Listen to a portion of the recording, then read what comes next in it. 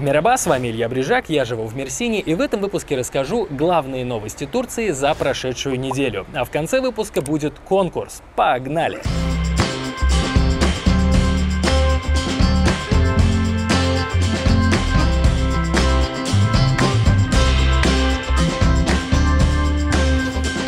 Инфляция в Турции побила новый рекорд и составила 80%. Об этом сообщило местное бюро статистики. По мнению многих аналитиков, реальные цифры куда выше. Больше всего подорожали транспортные услуги, еда, напитки и бытовая техника. Стоит отметить, что экономический кризис в Турции начался еще в 2021 году. После понижения ставки Центральным банком курс лиры резко упал. Затем, на фоне российско-украинского конфликта ситуация еще больше усугубилась. Власти Власти Турции всячески стараются удержать ситуацию на плаву и убеждают население, что все под контролем, но статистические данные говорят об обратном.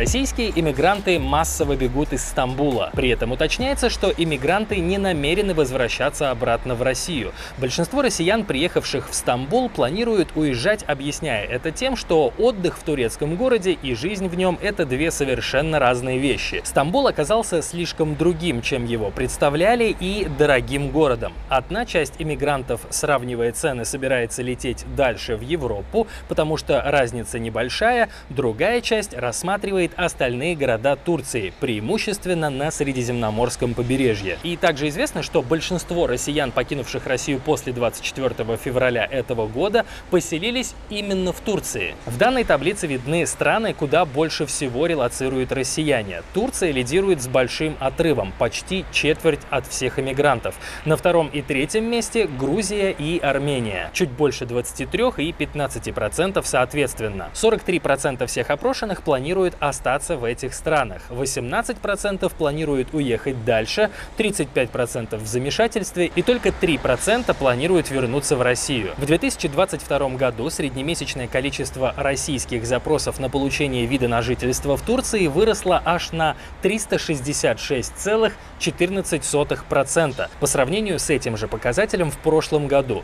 По этим же данным, в июне 2022 года количество запросов россиян на получение вида на жительство в Турции было почти на 357% выше, чем в июне 2021 года и на 775% выше, чем в июне 2020 года.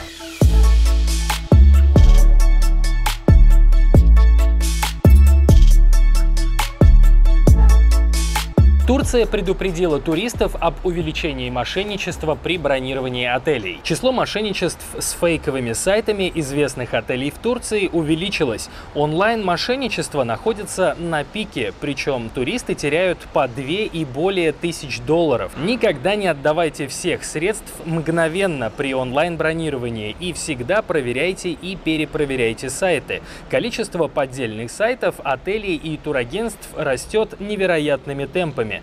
Только в Мугле за одну неделю было обнаружено 26 сайтов, крайне правдоподобно имитирующих сайты известных люксовых отелей. Причем имитируют все, не только сайты, но и колл-центры с указанными на сайте телефонами. Еще один вариант – продавать неработающие отели. Например, таким образом мошенники принимали заказы на отель в Мармарисе, который недавно закрылся после пожара. В общем, будьте бдительны и покупайте путевки только у проверенных туроператоров операторов. Далее. За второй месяц лета Анталью посетили почти 490 тысяч российских туристов. Таким образом, Россия обогнала Германию по объему турпотока в стране. За первое полугодие Россия была на третьем месте в списке лидеров по количеству иностранных туристов в Турции.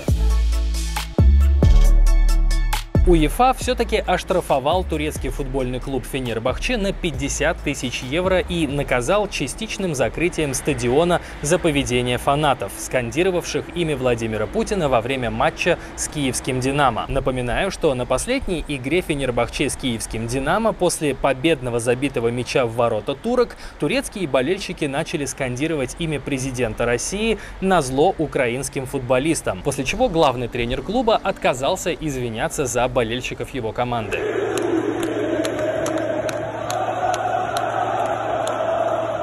Далее, 21-летняя Айсу Тюркаглу стала самой молодой турецкой плавчихой, переплывшей Ла-Манш между Францией и Великобританией. Она пересекла пролив, проплыв без остановок 16 часов 29 минут. Стоит отметить, что температура воды в Ла-Манше сейчас не превышает 20 градусов, а самая узкая часть составляет 33 километра.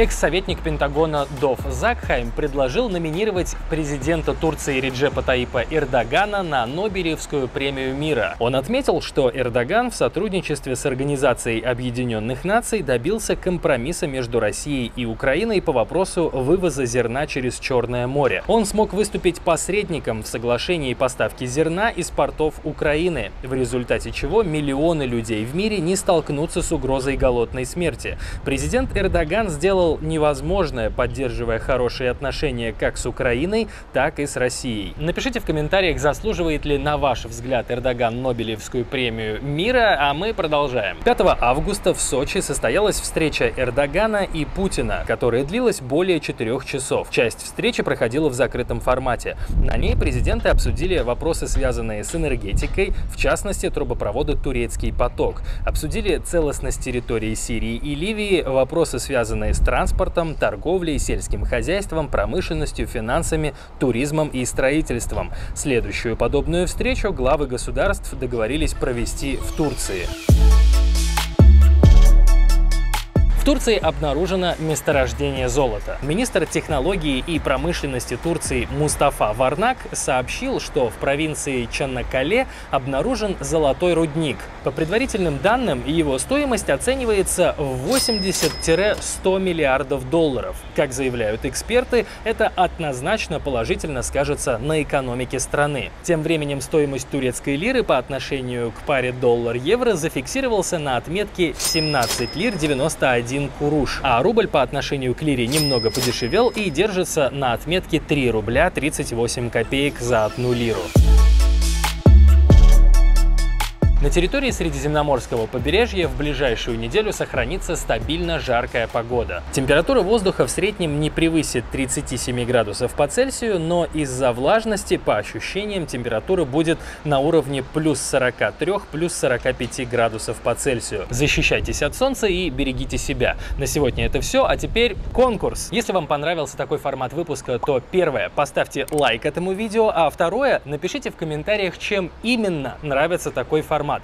Победителю конкурса за самый интересный комментарий я отправлю футболку из Турции. Спасибо, что досмотрели до конца. Не забудьте поставить лайк, переходите смотреть другие ролики на канале и увидимся в следующем выпуске. Görüşürüz!